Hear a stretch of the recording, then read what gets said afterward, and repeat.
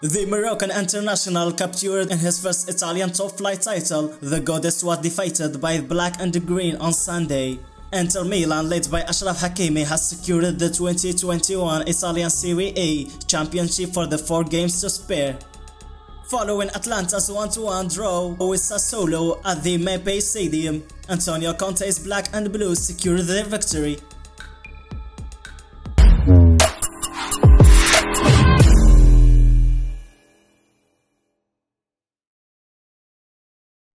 The goddess went to black and the green with high expectations, knowing that a win would deny Inter the Yadam on Sunday. Despite the fact that they had decimated Bologna 5-0 in the previous timeout. Pierluigi Gollini was issued by marching orders in the 23rd minute, effectively ended their chance of winning all three points. Referee Luca Pairetto sent off the Italian goalkeeper, tripping goal bond Cote d'Ivoire midfielder Jeremie Boga.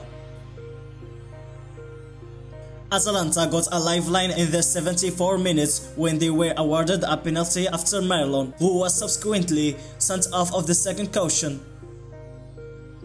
Muriel took the resultant kick, but was saved by Consigli who cleared the ball with his leg. At the end of the full time, the game ended on a no winner, no vanquished note, and that put an end Atalanta's title chase. With this, Inter Milan who silenced Simeon Nwankwo's on 2-0 on Sunday where Hakimi was among the goal scorers, have now won the Italian Elite Division, the item for the first time since 2009-10 campaign.